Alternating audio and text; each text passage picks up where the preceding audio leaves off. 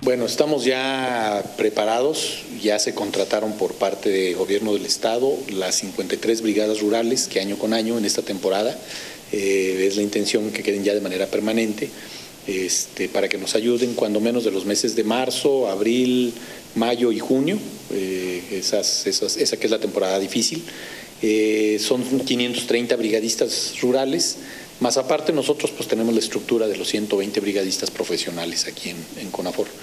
Eh, nos está llegando también un vehículo nuevo y está por llegarnos otro más, un prototipo que se va a probar aquí en la Sierra de Durango para ver si es posible que se puedan hacer en serie. Son equipos que se están adaptando con condiciones eh, suficientes y necesarias para lo que es los malos caminos, las malas condiciones en las que se encuentran las áreas forestales. Tenemos ahorita un, eh, una cifra de lo que es más o menos la tercera parte de los incendios que tuvimos el año pasado. El año pasado fue más difícil.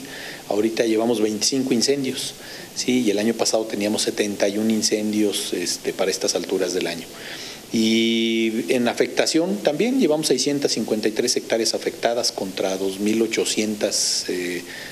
2.825 que se tenían el año, el año pasado para estas fechas. Entonces la temporada ha sido más tranquila, pero como lo hemos comentado, viene Semana Santa, eh, esos días siempre son de mucha afluencia del, de, la población hacia las áreas eh, rurales de Durango y se nos disparan siempre los, los incendios por descuidos normalmente que que, se presentan en las áreas de campamento. Las condiciones están tranquilas, hay humedad todavía eh, y aunque el pronóstico, como bien se comentaba por parte de CNA, es una temporada seca y de mucho calor, pues este, estaremos nosotros al pendiente de eh, estar sobre todo muy coordinados con las demás autoridades y con las áreas rurales para que sus brigadas pues puedan participar eh, de manera oportuna y evitar que se nos hagan grandes, grandes incendios.